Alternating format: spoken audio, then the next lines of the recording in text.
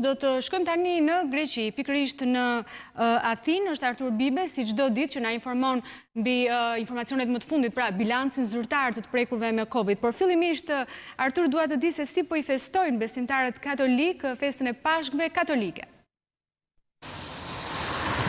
Përshëndetje Monika zonja zotërinj, ne ndodhemi jashtë katedrales katolike këtu në Athinë. Në fakt si të gjithë objektet fetare të, të vendit këtu në Greqi, pra është edhe kjo e mbyllur, është hera e parë që ndodh kjo gjë në Greqi, nuk ka ndodhur as në kohën e pushtimit fashist, as gjatë luftës civile dhe aq më tepër gjatë gjithë problemeve që Greqia ka hasur këto vitet e fundit. Është Është një një pamje jo e këndshme për të parë, por gjithsesi besimtarët katolikë kanë zgjedhur të respektojnë urdhrat e qeverisë për të shmangur sa më shumë pra distancinim distancimin social dhe për të mbaruar sa më shpejt Monika çështjen e Covidit në vend.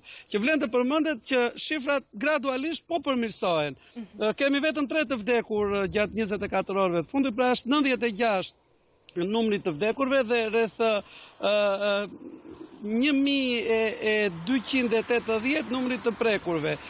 Duket se tani kurba ka ngelur stabile dhe besoj, besoj që gjatë dy javëve në vazhdim, Greqia do të marrë sërish veten dhe do të fillojë të hapet edhe tregu, po edhe lëvizja qytetarëve. Monika.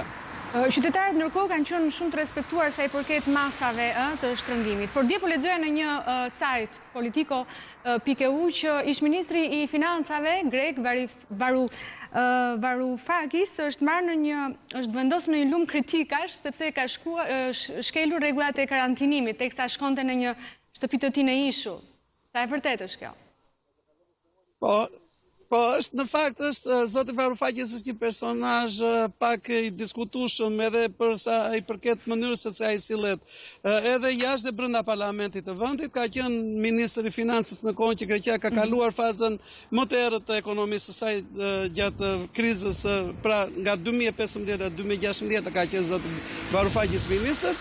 Ëm ai në fakt Provokoi një një përballje pa të paqëllimshme besoj unë me një nga rojet bregdetarë që ndodheshin në portin e Pireut, ku një prej rojeve pra e pyeti nëse kishte dokument për të lëvizur dhe zoti Varoufakis me stilin e tij pak bombastik dhe pak provokues I tha, i tha atij rojes se shiko se ti duhet ta dish kush jam unë dhe prandaj nuk ka pse të më kërkosh dokumentat. Gjithsesi, dhe kryetari i bashkisë, po dhe rajoni i policisë në Egjina, njoftuan se ndaj zotit Varoufakis ka filluar ndjekje penale, e cila shumë shpejt do të shkojë në parlament për të hequr imunitetin dhe të proceduar pra me gjobën që është 5.000 euro dhe penalizimet e tjera që i përkasin zotit Varufakis. Monika.